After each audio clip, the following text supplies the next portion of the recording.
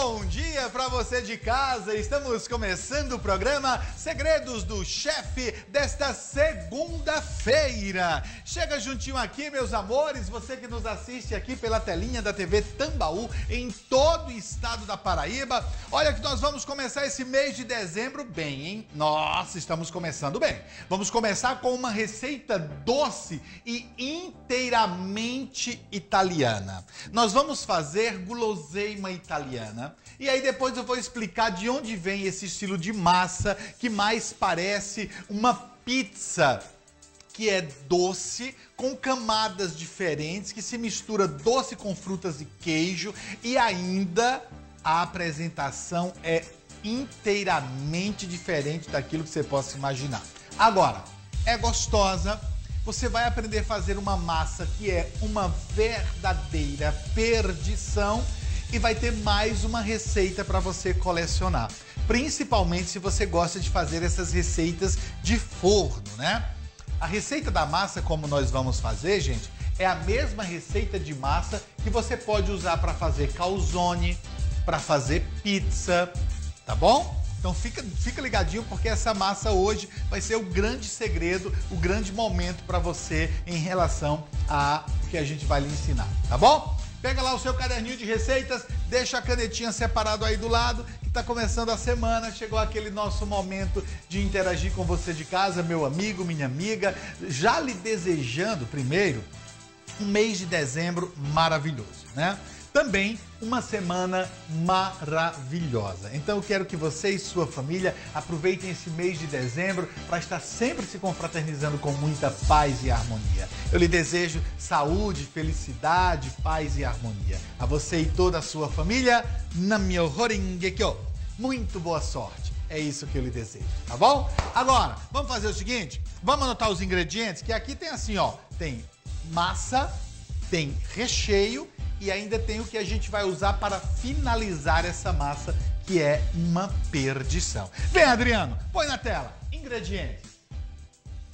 Olha aí, para massa você vai precisar de meio quilo de farinha de trigo, 250 ml de leite, 50 ml de água, 50 gramas de manteiga ou margarina, 20 gramas de fermento biológico, que é o fermento para pão, dois ovos, uma colher de sopa de açúcar. E uma colher de chá de sal. Para o recheio, são 400 gramas de mozzarella, uma lata de goiabada picada, quatro bananas em rodelas, três maçãs fatiadas, uma xícara de doce de leite e um pouco de canela em pó. Nós ainda vamos usar na receita duas gemas e aproximadamente 50 gramas de açúcar demerara. Gente, essa receita nós vamos começar pelo preparo da massa, tá?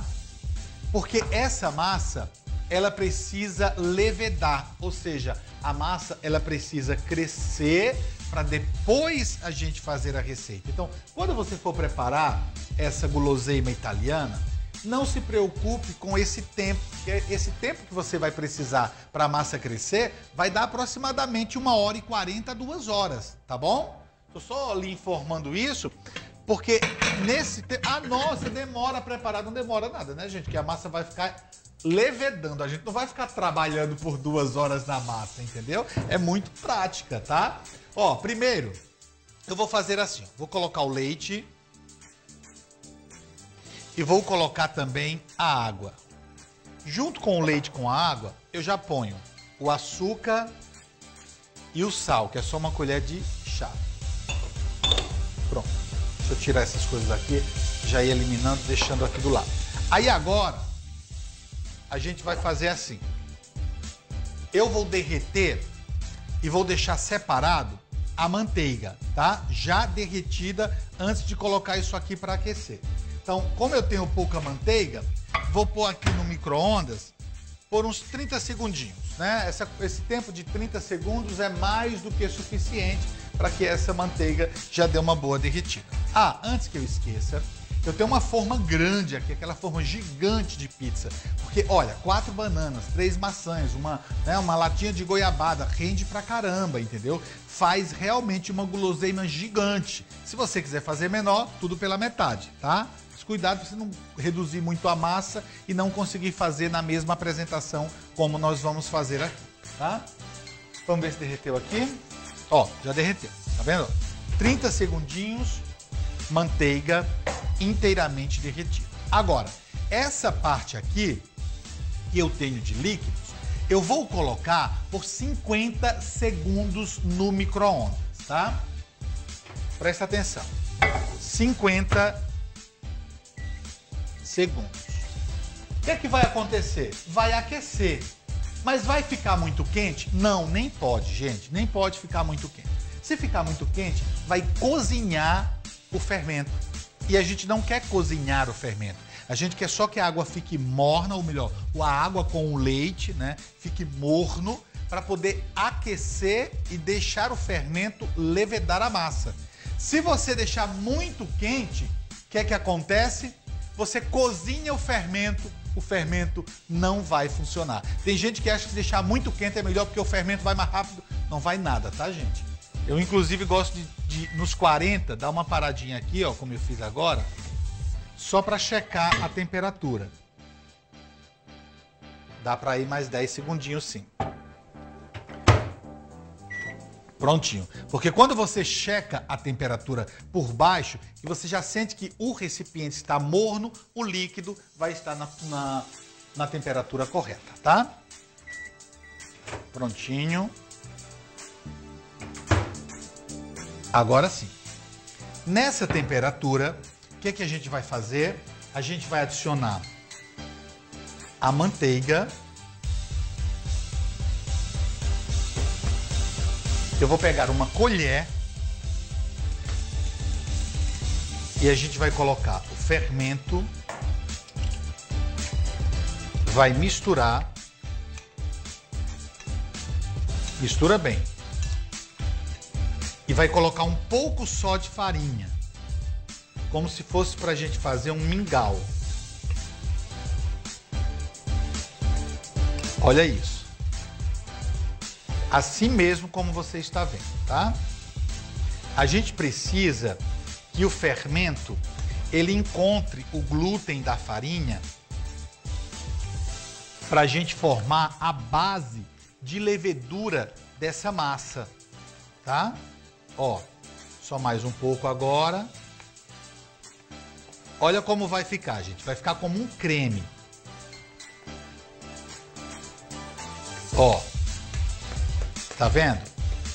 Agora a gente dá essa batidinha aqui, ó. Tem muita gente que gosta de fazer essa, essa etapa e em algumas receitas que você encontra por aí, as pessoas mandam fazer isso no liquidificador. Mas eu não aconselho, primeiro porque você vai deixar parte do fermento no liquidificador. E depois, porque você não vai ter esse contato visual com a massa como você está tendo aqui, tá? Então, olha isso. Fez esse mingauzinho, testou aqui a temperatura, tá uma temperatura morna, já vai ter condições de ativar toda a massa. Daí agora, o que, é que a gente vai fazer? Vai quebrar aqui dentro dois ovos coloca o primeiro e mistura. Podia ficar sem os ovos? Podia. Então por que você está colocando, chefe? Porque eu quero que essa massa ela seja bem saborosa, porque é uma massa para sobremesa. Então ela tem que ter mais sabor, né? Tem que ser bem gostosa mesmo, tá?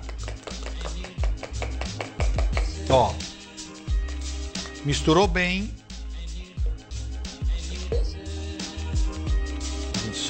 aqui. Aí o que é que você vai fazer? Você vai acrescentar a farinha de trigo, tá? Olha isso, hein? E aí você vai mexer primeiro com a colher. Calma que você vai ver, ó. Só com a colher. Eu coloquei meio quilo de farinha de trigo, mas sempre eu vou aconselhar você de casa deixar separado uma xícara para a hora da montagem. Vocês vão entender que hora da montagem vai ser essa daqui a pouco, tá? Olha isso, com a própria colher, hein, gente? Pronto. Vou tirar o excesso de massa que ficou na colher. E agora, o que é que eu vou lhe aconselhar a fazer? Você vai manter a massa coberta em um local abafado. Então, por exemplo, qual foi o local que a gente usou agora para aquecer e que ele vai ficar um local bem abafado? O forno não é? Então o que é que a gente vai fazer aqui? Pegar um pano. Se esse pano de prato tiver úmido, melhor ainda, que vai dar aquele contraste de umidade com o abafado. E aí agora, nós vamos colocar dentro do micro-ondas e nós vamos deixar aqui. Por quanto tempo? Pode marcar no seu relógio. Não adianta você abrir nem querer trabalhar essa massa antes de uma hora e meia, tá bom? Mas é claro que a gente tem uma massa pronta e a gente vai mostrar ela no próximo bloco.